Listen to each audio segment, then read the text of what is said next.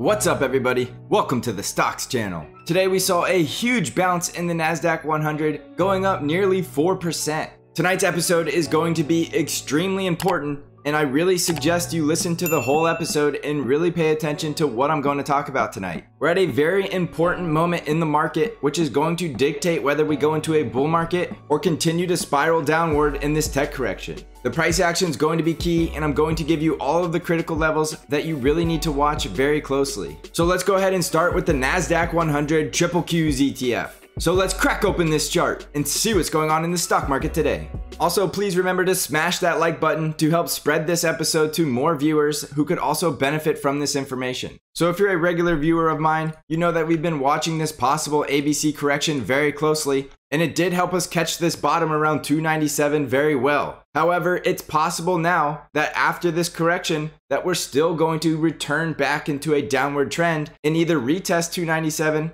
or possibly even break below it and go much lower. So I want to hammer down into a one hour chart of the triple Qs and I want to really go through this scenario very closely because the price action at these critical levels during this correction are going to dictate whether we go into a bull market or we continue downward in this downward trend and continue to head lower. Don't forget on the daily chart that we are in a bear trend and we know we're in a bear trend because the price action is below the 50 EMA and all of the moving averages are starting to stack to the bear side.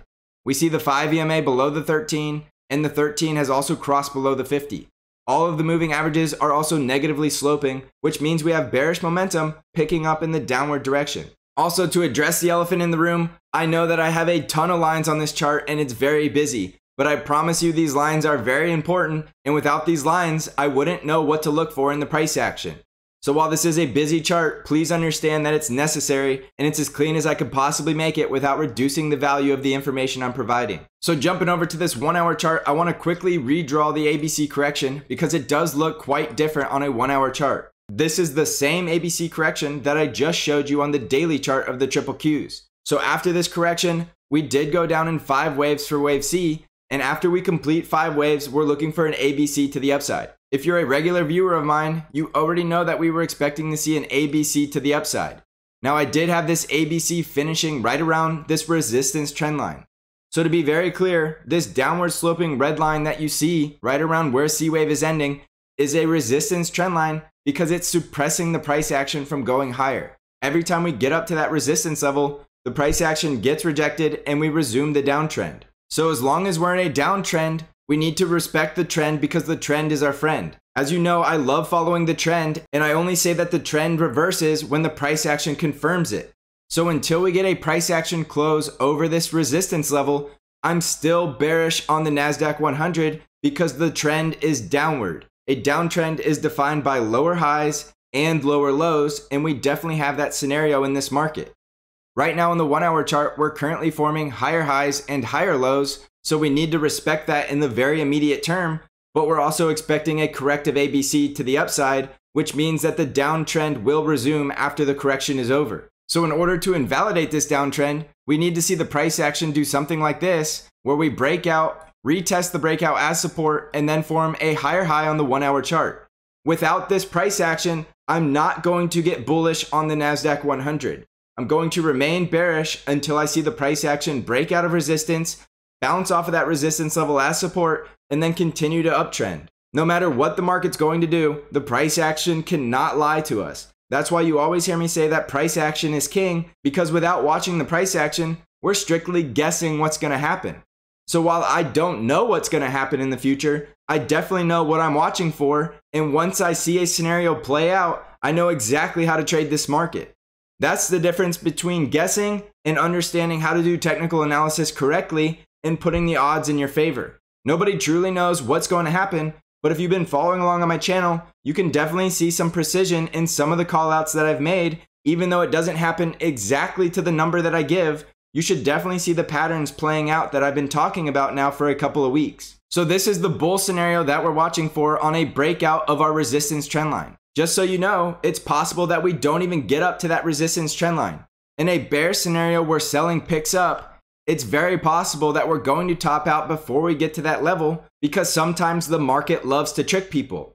If the market knows everybody is watching for that resistance trend line, it's very possible we saw the top today and 314 level that I was talking about on the Discord server as critical resistance could have been the top, and we could have actually seen the C wave ending today right around that level around 314. So in this scenario, we would see the price action get rejected at one of these resistance levels, possibly even a retest of that level once again, and then a continuation of the downtrend.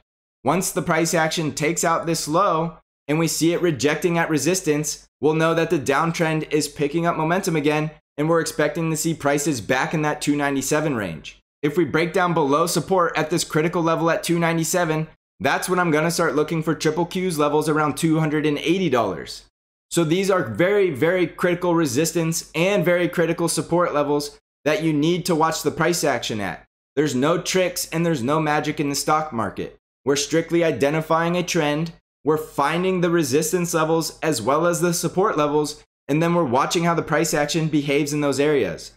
That's how we set ourselves up to do a successful trade and get a good risk reward ratio that allows us to remain profitable in this market. So, just a heads up in the Stocks Channel Discord, I'm giving updates on the hour of exactly what's going on in this volatile market.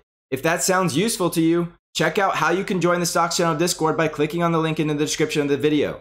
I got a lot of positive feedback on these intraday updates, so I'm going to continue to do them and help you navigate through this volatile market. So now that you know the critical resistance levels are at 314 and our resistance trend line, which is also around 315 or 316, those are the levels I want you to watch very closely for a possible breakout in a bull scenario or a rejection and a continuation of the downtrend for a bear scenario. Remember that the price action is key and how it behaves at those levels is ultimately going to matter way more than the levels themselves. So the next thing I want to cover in the NASDAQ 100 triple Qs is a possible extension of the C wave. In this scenario, wave C is only completed in a wave 1 and this ABC is completing a wave 2. So in this scenario, we only completed a wave 1, possibly completing a wave 2, and we're going to continue lower in a wave 3. We'll expect to see a wave 4 and then a wave 5 to complete out this correction, and then we could possibly see a bottom. Right now, I'm favoring somewhere around $280 for the bear scenario, so pay very close attention to these resistance levels. If we fail to break out and start closing below 297, just understand that it's possible that we go much lower. So I always favor being defensive in these scenarios because right now we're at a crossroads and we're either going into a bull market or we're going to continue this downtrend and head into a bear market. When you're not sure what's going to happen, it's better off to just take all your chips off the table and let the price action confirm which scenario is going to play out. Now, in a bull scenario, we're going to break out of this resistance and then we should likely start impulsively moving to the upside. But until we break out of resistance, I'm going to favor the bear scenario.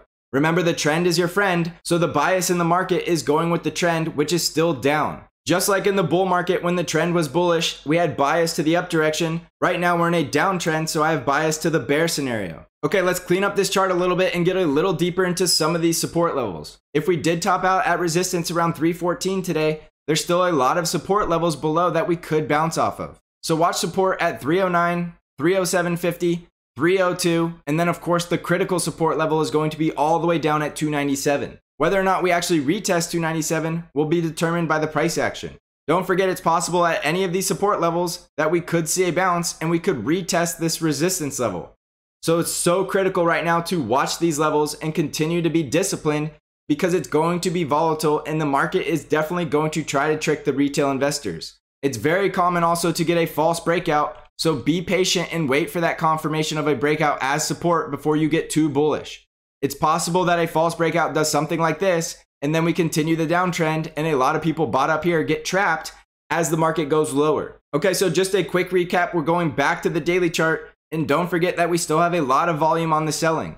When we see a lot of volume on selling like this, it means that there's still a lot of panicking, there's still a lot of sector rotation, and there's still a lot of big money players that are selling their positions. We're better off just being patient and waiting to see which scenario is going to play out. So I know a lot of you really enjoyed this ABC correction in the last couple of weeks, but right now we're at a crossroads and we need to be patient before we know exactly what's going to happen in the future. But right now we're at a crossroads and we're just going to continue to watch the price action before we get too overly bullish or too overly bearish. All right, next up is the S&P 500 SPY ETF, and we saw the SPY going up 1.43% today.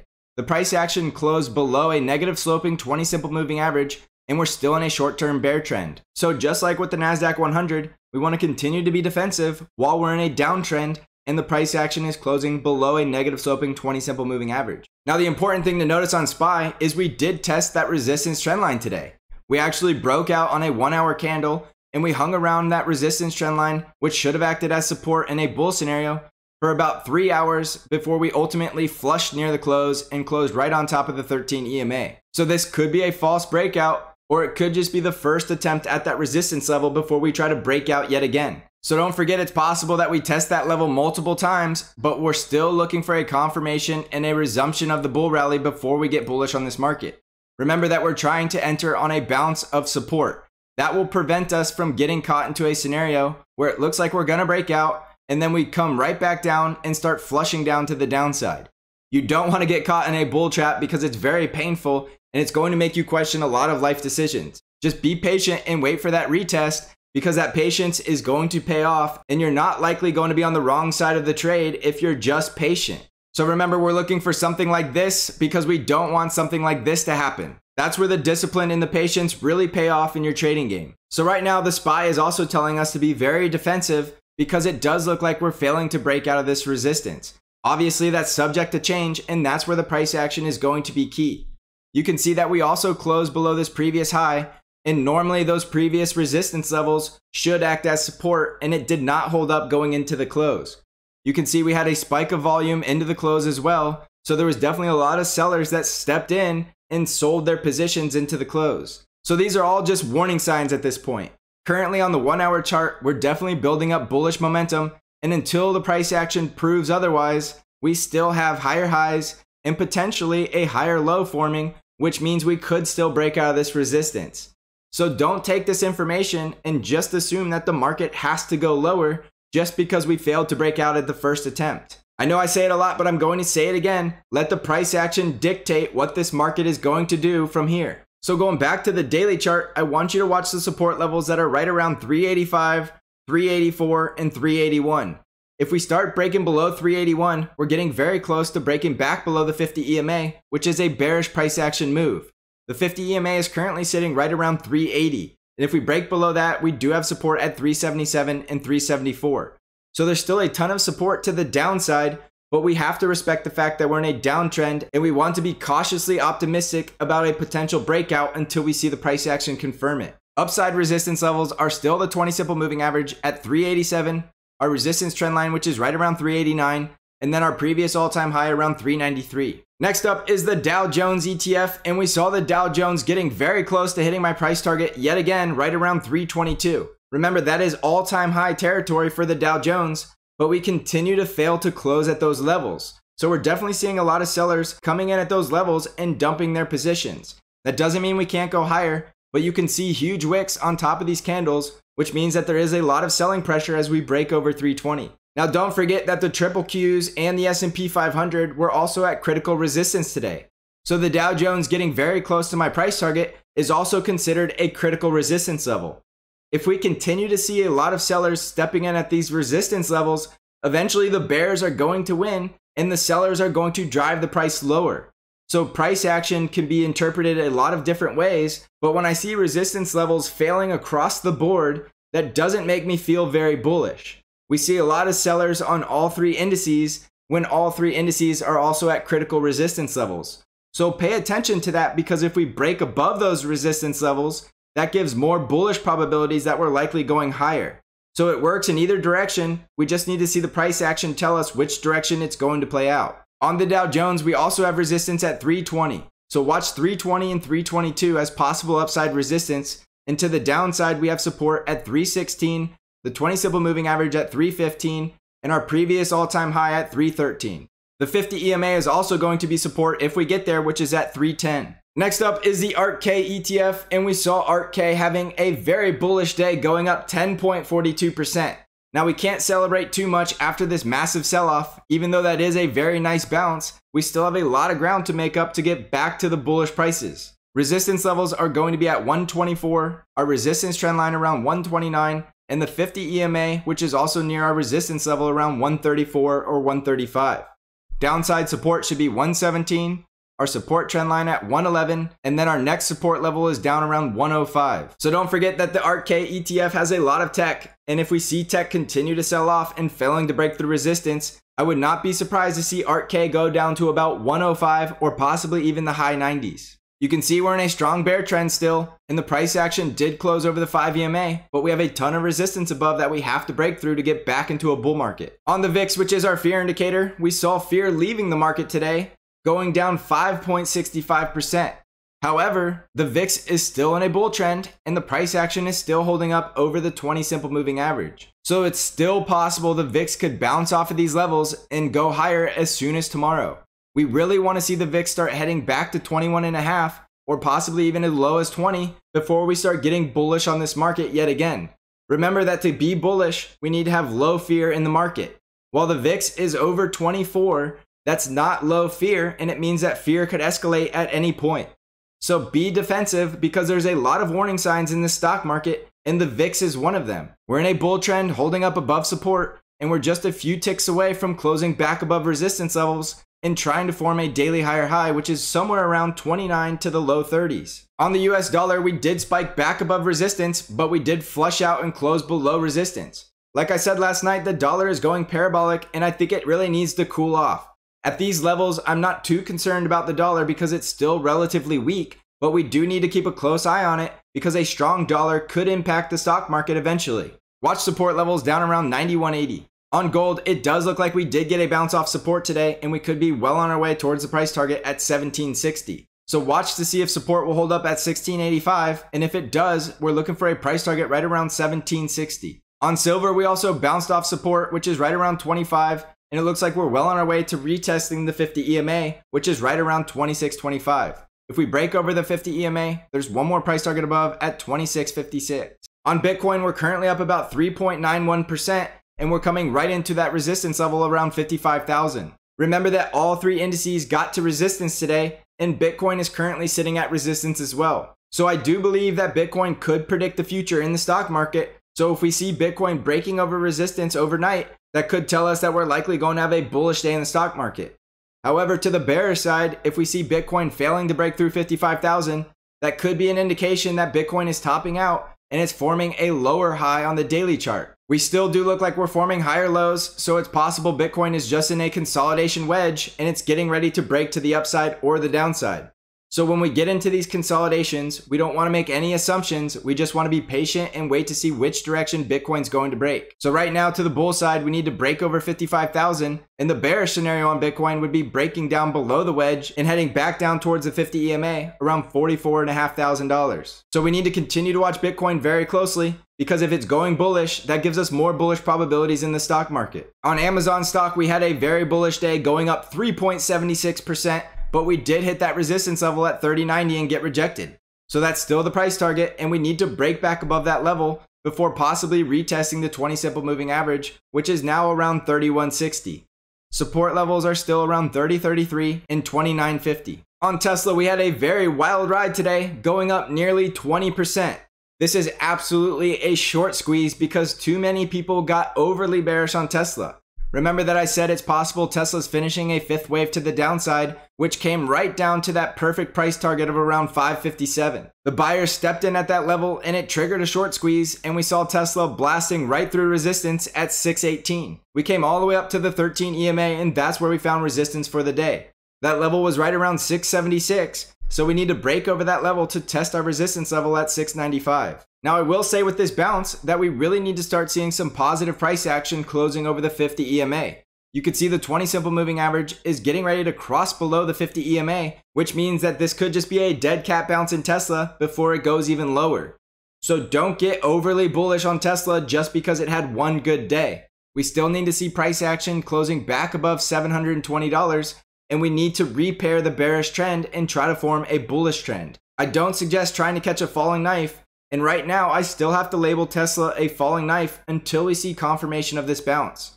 A dead cat bounce can be very convincing, but it's still just a dead cat bounce until it reverses the bearish trend. On Apple stock, we also had a very bullish day. We went up over 4% and we did close over that resistance at 120. Don't forget that it's possible Apple is still in a fifth wave to the downside, which could bring Apple all the way down to 114. In the bearish scenario where the NASDAQ 100 and the triple Qs go to 280, I would not be surprised to see Apple going to 114. However, if Apple did bottom around 116 and it's starting to head higher, don't forget it's also a market moving stock. So if Apple is going higher, don't expect to see the NASDAQ 100 going lower. So the next resistance level for Apple to break above is right around 122. If Apple breaks over 122, that will give us more bullish probability odds that the NASDAQ 100 is done correcting and we're ready to go higher. The next resistance level on Apple is 124. On the financial sector, we finally saw some selling going down 0.91%. We're still holding up above a positive sloping 5 EMA with a very strong bull trend, so there's nothing to worry about quite yet. On the industrial sector, we went down 0.41%, but again, we're still holding up above the positive sloping 5 EMA with a very healthy bull trend. The energy sector dropped about 1.75%, but still holding up with bullish price action and bullish trending. On healthcare, we went up 0.59%, and it does look like healthcare is starting to put in a little bit of a pivot. Is this going to be enough to reverse the bear trend in healthcare and go back into a bull trend? Only the price action can determine that.